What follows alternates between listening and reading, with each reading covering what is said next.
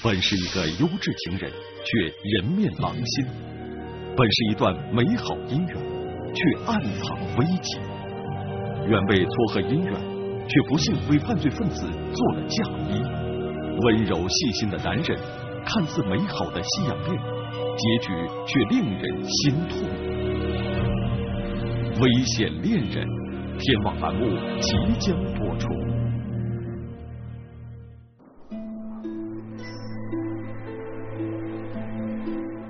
在吉林省通化市柳河县里，有一个叫王月的女子。王月性格开朗，长相姣好，现在独自一人居住在这套两居室里。因为离婚这么多年，自己挺孤独的，子女又不在身边，所以我特别希望找一个能体恤我的。最起码能照顾我吧，在我生病的时候有人给我端水送药，也没有什么太高的要求。抱着试试看的心态，王月走进了柳河县内的一家婚姻介绍所。就是觉得婚介所可能是选择的余地能多一些，然后自己的圈子吧比较小，接触不到可能比我条件好一些的男人，我就想找一个最起码不拖累我自己家里这边。能帮助我的这么一个人吧。在婚姻介绍所里面，王月登记下了自己的个人信息。其实我一开始也没相信，就是说，呃，希望有他这么一个平台，找到一个这么个人，然后我再进一步的了解。很快，婚介所的工作人员给王月打来电话，告诉他有个和他年龄相仿的男人要介绍给他。就是经过婚介所介绍吧，说他家家庭条件挺好的。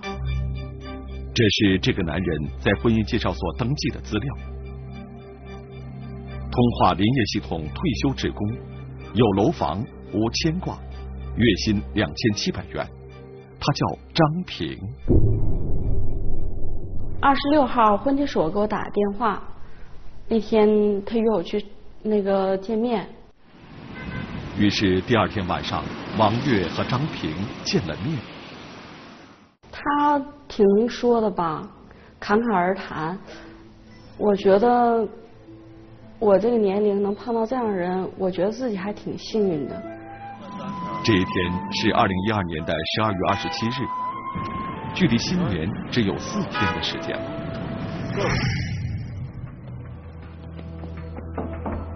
然而。就在二零一二年的最后一天，王月却慌张的跑进了柳河县公安局。他是来报案的。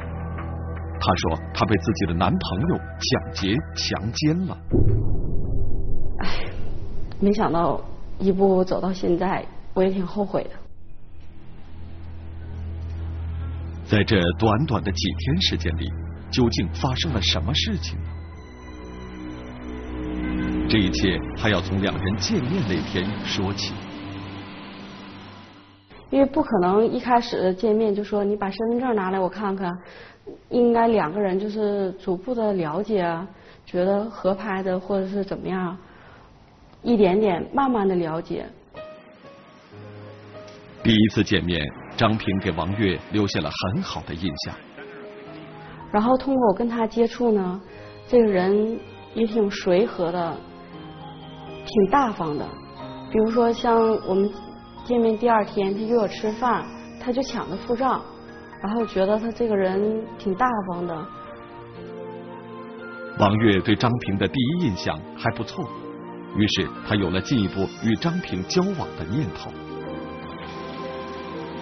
此时，张平提出想去王月家看看。我觉得。挺不合时宜，我就没让他去。但是张平还是坚持把王月送到了他家楼下。但是又过了一天，他说：“你家缺什么东西啊？我给你送去。”他就买了一桶油，买了一些一瓶蜂蜜，送到我家。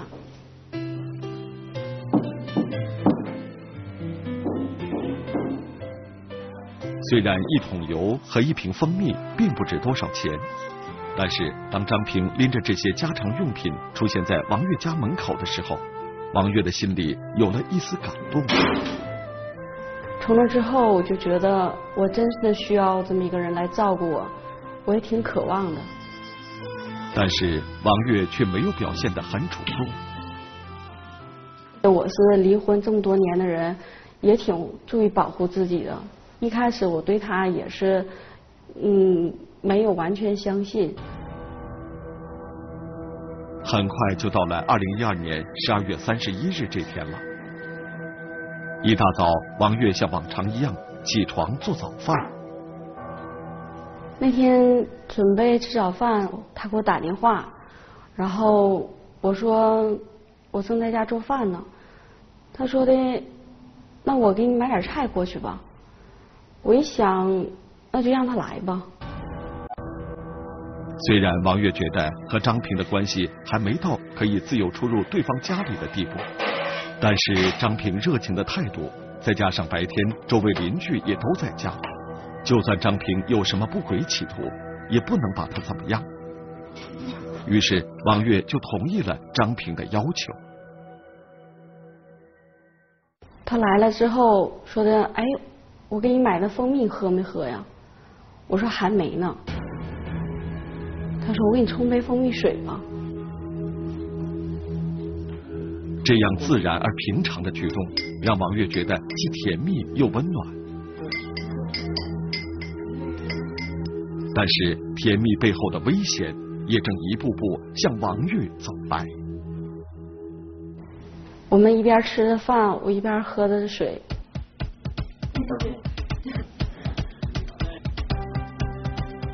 不知不觉的，我就觉得晕倒了。然后的后面的事情，当王月再次醒来，却发现自己一丝不挂的躺在床上，而家里所有值钱的东西，包括衣柜里的两件貂皮大衣，都已经不见了踪影。究竟是什么让他卸下了防备？究竟是什么让他如此信任这个男人？究竟是什么让他昏昏欲睡？充满悔意的短信，态度诚恳的道歉，他的转变背后究竟意欲何为？危险恋人，天网栏目正在播出。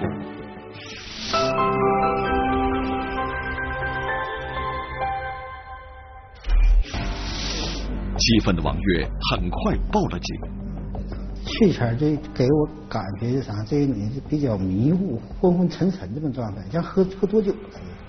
赶去前，他有些话还说不清楚。前进派出所的侦查员很快清点出王月丢失的东西。除了把女受害人的包里的钱包、包括银行卡、身份证、身份证洗一空外，把家里就是贵重物品。包括各种翻箱倒柜吧，咱说的女女被害人的什么两个貂皮大衣啊，包括她的金首饰都洗劫一空。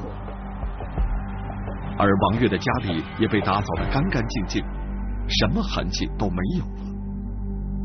他是被那个嫌疑人走前全收拾了，包括厨房还有他的那个房间、卧室都收拾，已经都收拾了。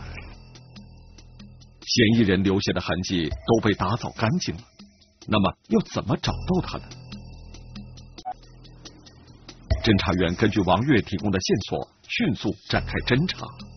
因为他这个给咱们提供的那个信息特别少，因为一是说呢，咱们通过被害人呢了解一下，就是说的，因为切切入点就是这被害人，被害人跟这个犯罪嫌疑人接触的是，因为在一起共同接触了这两三天的时间，所以说，但是他提供的信息。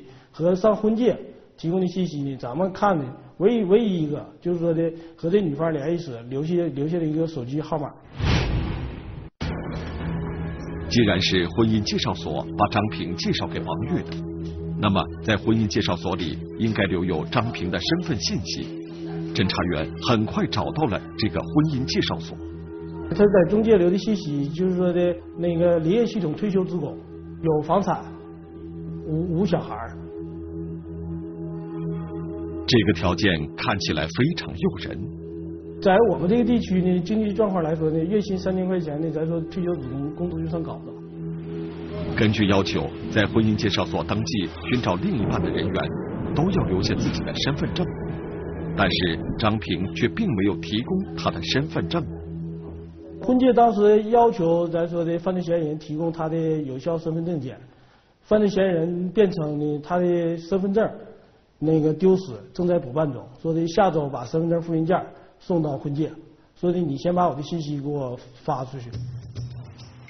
婚姻介绍所的工作人员对张平的印象非常深刻，因为当天在张平登记完信息之后，工作人员要求张平缴纳一百块钱中介费。张平毫不犹豫地从衣服内袋拿出一沓人民币，在工作人员面前晃了一下，从上面抽出了一张，交给了工作人员。先入为主的观念使得工作人员认为，能揣着这么多钱出门的人，怎么会是骗子？于是，即使张平没有出示身份证，工作人员还是把他介绍给了王月。这都希望找一个，就是说的。有经有一定的经济基础、身体健康，然后就是说的老实本分的人。由于张平是婚姻介绍所介绍的，王月理所当然的认为张平已经向婚姻介绍所登记他的身份证，所以也并没有主动去核实张平的身份信息。他们的信息也是都是通过婚介登记的，所以说他们对婚介这块，因为。考虑到应该可能婚介把已经核实完信息了，要是婚介不核实信息，他们也不能发。正是这种想法，给了那些别有用心的人一个可乘之机。如此看来，这一切应该就是那个叫张平的男子精心设下的一个陷阱。那么，此时让大家疑惑的是，张平是如何取得受害人的信任？最后又是如何让受害人昏迷不醒的呢？就在侦查员思考这些疑问的时候，受害人王月拿着手机再次跑进了侦查员的办公室。他说：“他刚刚接到了张平给他打来的电话，内容就是说的，他是他比较喜欢这个女受害人，呃，再一个啥呢？就是说的，呃。”他做错了，然后他在这个女受害人家抢的这些金银首饰、貂皮大衣呢，就是说呢，让这个女受害人，你给我提供那个邮邮寄地址的那个，或者是你提供那个银行卡，我把这个钱和这个这个貂皮大衣都给你邮回去。难道张平也对自己的所作所为有所悔意？但是在调查中，侦查员却发现。在张平与受害人王月通话的同时，王月的银行卡曾经被人使用过。在柳河县邮政储蓄的一个自动柜员机上，监控探头拍到了这样的画面。这个人就是使用受害人王月银行卡的那个人。只见他很从容的将卡插进去，俯身下去按密码。反复几次之后，这名男子又将卡拿走了。他会是张平吗？侦查员将这段监控录像放给受害人王月看，王月很肯定的指出，这个人就是张平。既然张平已经得手了，为什么还要给受害人王月打电话呢？他到底想要干什么呢？让那女的给他开个账户，完他把他偷的钱给他汇回来。难道真的像短信里说的，张平只是一时动了歪念，才铸成大错？他现在心存悔意，所以才会主动联系王月。之后这女的开个又新开个账户，给他会发个短信发去了。虽然张平发了好几个短信，信誓旦旦的保证要把钱给王月退回去。但是等了几天，王月始终没有收到来自张平的汇款，反而张平还在不断询问王月新卡的密码。在这个女受害人的钱包内，不仅有不仅有银行卡，而且还有身份证。他拿着他的年月日试了多次他的那个那个银行密码，而是没没有失中。张平并未从王月的卡上提走现金，由此警方猜测，张平到提款机是为了试验王月银行卡的密码。输入了几次不成功之后，张平只好带着王月的卡离开。所以他卡里确实有很多钱，所以说他又在银行重新开了一个卡。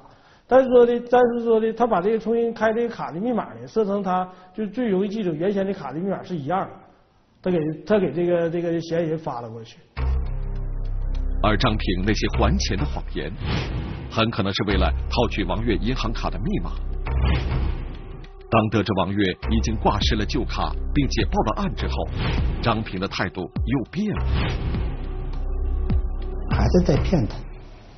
在接下来的电话和短信中，张平不断的表达着对王月的关心，但是他最后的目的就只有一个，让那个女就是别报案。侦查员让王月给张平打电话，希望能够从这些语音通话中劝说张平投案自首。最开始前是打电话不接，他就想看看对面是什么反应。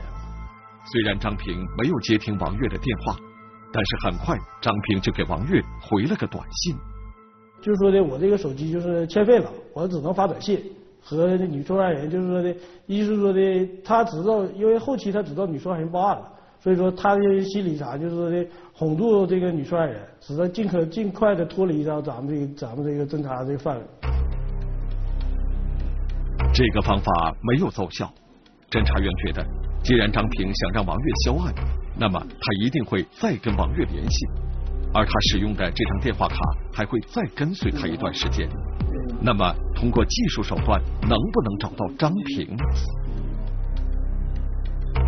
然而，就在警方准备通过技术手段寻找张平的时候，受害人王月再次收到了张平的短信。在短信中，张平不只是让王月销案，他还给王月发来了三张照片。看似道歉的短信，却另有目的。三条彩信让受害人慌了心智。狡猾的犯罪嫌疑人流窜作案，王月并不是最后一个受害人。温情款款的背后，实则包藏祸心。危险恋人，天网栏目正在播出。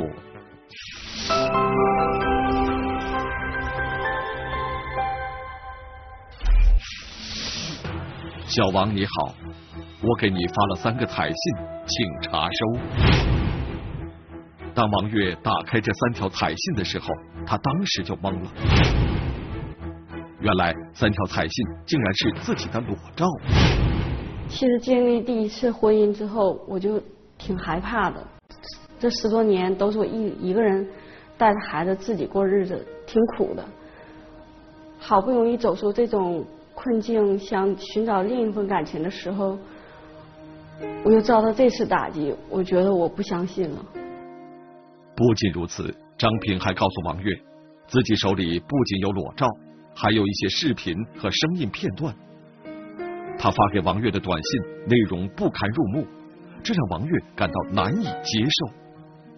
我们这个柳河这个受害人，你现在要既提到这个这个犯罪嫌疑人，就是包括也是浑身发抖，包括网上一整就是自己做噩梦，就是瞎想。那你说的自然不自然的，就是自己就哭醒。面对受害人痛苦的表情，侦查员的心里很不是滋味。他先找个可靠的，也是那个。岁数也大了，需也得需要一互相照顾，所以他就寻思上中介所去找去，没成想找这个江人。张平嚣张的气焰让侦查员感到很愤怒，但是怎么才能找到他呢？警方分析了张平的作案手法，他与王月是在十二月二十七日这天通过中介介绍认识。十二月三十一日，张平就实施了这起抢劫强奸案。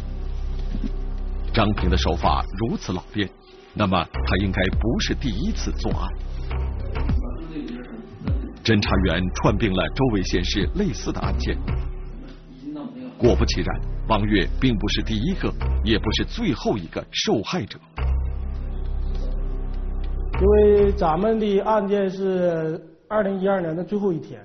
在二零一三年的一月二号，在我们临近的梅河口市，也以同样手段发那个发了一起这样案件。而在临近县市发生的这起案件中，犯罪嫌疑人依然只留下了一个手机号码，而这个手机号码就是张平在柳河县内的婚姻介绍所留下的那个号码。侦查员根据相关的证据发现，在短短几个月时间里，这个叫张平的男子就在附近县市作案共六起。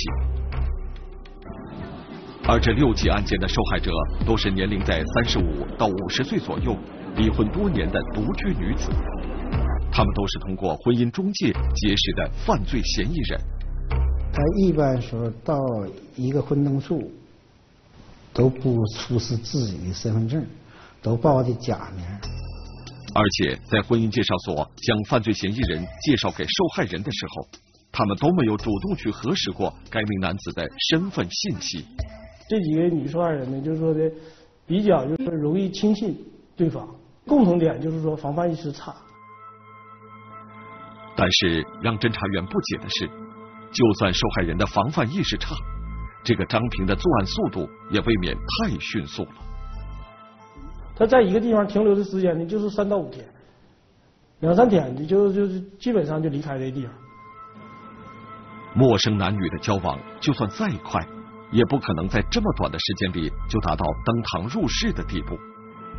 这个张平是怎么做到的呢？警方分析了这几名受害人提供的资料，突然发现他们都提到了一个共同点：这女的吃完饭没吃完呢，她就迷糊过去了，以后的事谁也不知道了。当他们醒来，才发现。自己已经被强奸抢劫了，那么这个张平究竟对这几名受害人施了什么魔法呢？根据张平的作案路线，侦查员分析出张平大致的行动轨迹。他们将张平的落脚点锁定在了吉林省白城地区。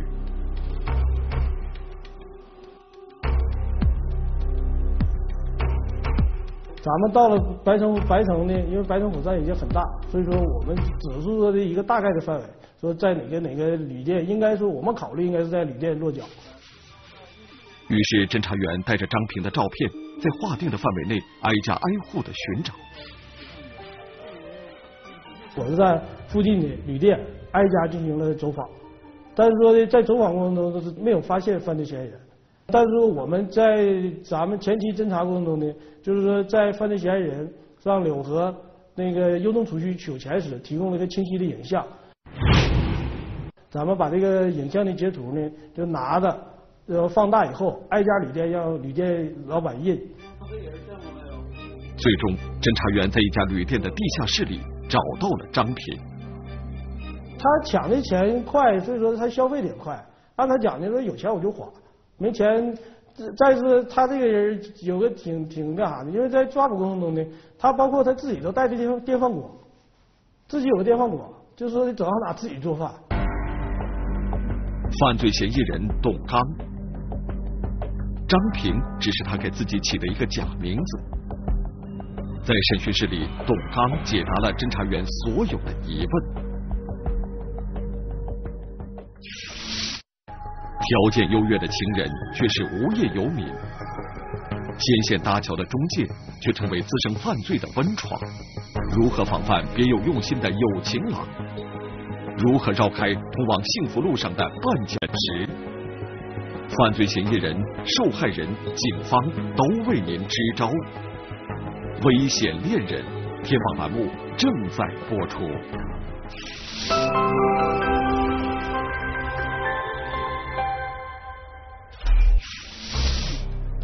董刚，黑龙江人，无业。犯罪嫌疑人呢，话痨，比较会体贴人，就包括我们侦查员在审讯过程审在审讯他的时候，都说了，哎，你们那个别生气啊，你们累了不行，你们休息休息。然后那个我这一会儿我就都跟你们如实如实讲，和以往的犯罪嫌疑人不太一样。那么，董刚是如何实施他的犯罪行为的呢？首先，东刚会选择一个当地不算太大的婚姻介绍所，根据婚介所的要求，填写一份个人资料。这临场呗，内退的。嗯。完了，我说我有楼三楼四楼，就一个姑娘，没有儿子。嗯。老婆死了。嗯。完了，另外倒卖木材，大伙儿他们一听就就取得这个条件优越了。嗯嗯嗯。填好个人信息之后，婚姻介绍所一般会要求董刚出示身份证进行登记。他管我要身份证来，我说我没带。完我他中介费我给他，他要中介费了，要一百块钱。董刚说，大多数婚姻中介所都是见钱眼开，所以自己一般会在衣服内袋里装上一沓钱，交中介费的时候他就拿出来虚晃一枪。警方在抓获董刚的时候，也同时起获了他说的这沓人民币。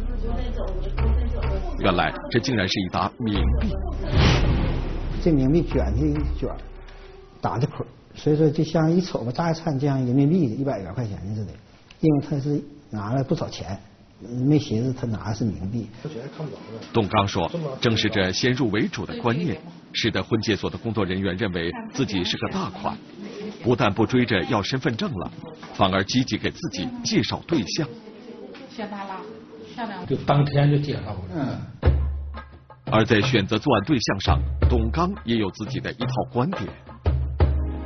他选择的女性，不是说选择漂亮，而是说的专门选择女性的是戴不戴金银首饰，戴不戴，尤其像项链、手镯这些金银饰品。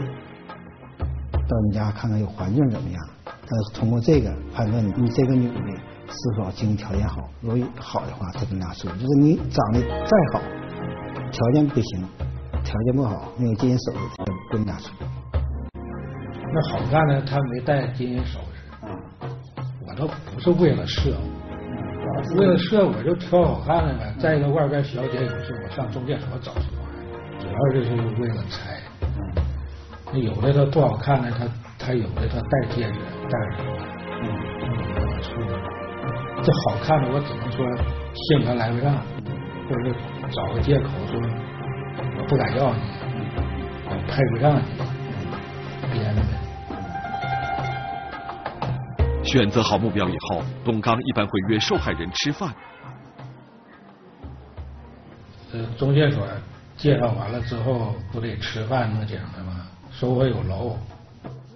在饭局中，董刚一般会把自己的条件说的特别优越，但是实际情况如何呢？连平房都没有，就连我儿子都没有，平房都没有，俺爷俩啥都没有。但是此时，受害人已经被董刚的优越条件和花言巧语迷惑了。我条件优越，我瞎编，是不是？嗯。呃，再一个，咱们。第二个呢，花钱大方，头次见面必须大方呢。呃，说话唠嗑有有点共同语言。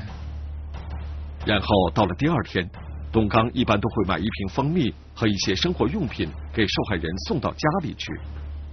这些日常用品花不了几个钱，但是董刚知道，这个年龄段的女人需要的不是多么值钱的礼物，她们需要的是一颗关爱她们的心。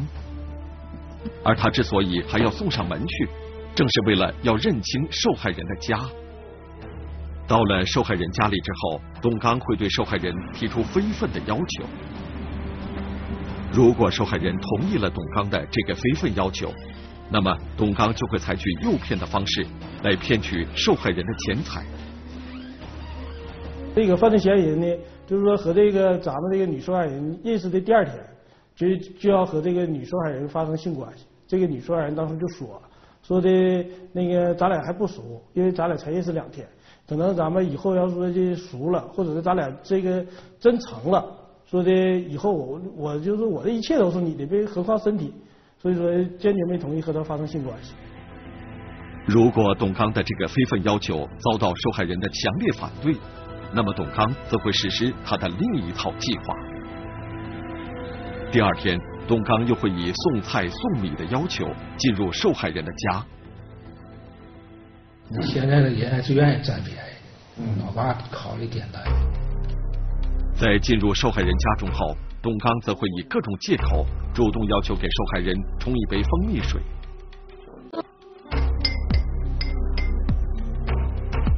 而在他的随身口袋里，他会带上一袋磨好的安眠药。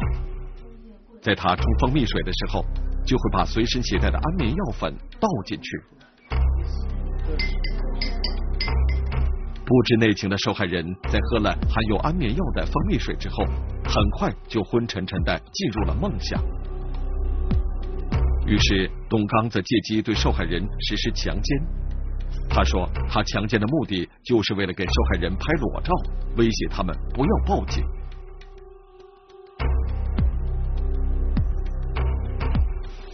在强奸完受害人之后，董刚则会将整间屋子打扫干净。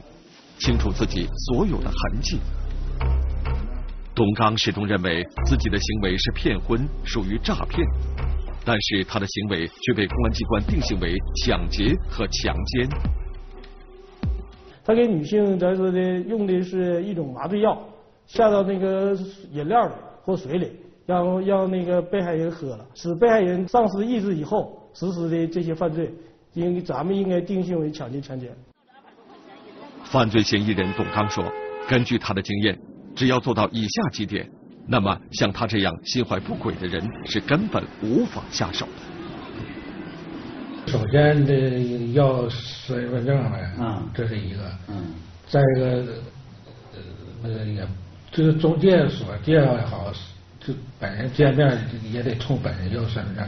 中介所没管我要身份证，嗯，我跟人处对象处对象这人管管我要身份证，嗯。”那我还没有，那个这样我自己就躲避了。那些一旦要求要身份证，我就不敢了，对，我就逃避了，躲避，就放弃他了。核实完对方身份之后，也不要贪小便宜。两人交往要始终抱着平等的心态。女性朋友呢，咱说的一是说啥呢？嗯，尽尽可能的，咱说的和陌生人接触前，不要轻易领陌生人回到自己的住处。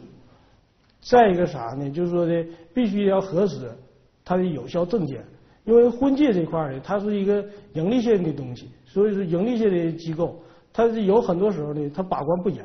所以说这，据我们也希望就是女性朋友能擦亮自己的眼睛。而在采访中，几名受害人也同时提到了这几点。其实经历了这么多，我觉得每次应该选择的时候吧，应该谨慎一些。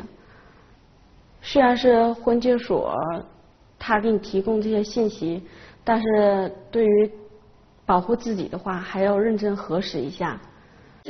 再一个就是不应该把这个陌生人。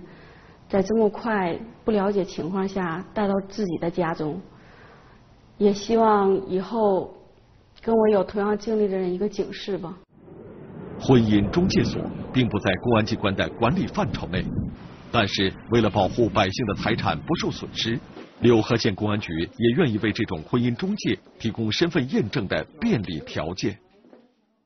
这样呢，一个是有利我们公安工作，因为这里边。呃，是不是有违法犯罪啊？呃，是不是有呃在逃人员？第二个呢，呃，也避免了呃像被害人呐上当受骗，呃，也避免了像类似案件的发生。帮助两个失去伴侣的人重新找到另一半，本来是一件好事，但是因为婚姻介绍所的不负责任和疏忽大意，不详细核实登记人的身份。导致受害人被人骗财骗色，提供这样虚假的信息，必然要接受相应的处罚。除了婚姻中介行业要建立相应的规范，及时自省自律以外，那些想通过婚姻介绍所寻找另一半的人，也应该擦亮自己的双眼，在与陌生人接触的时候，认真核实对方身份，这样才能保证在通往幸福的路上。不会遇到骗局与陷阱。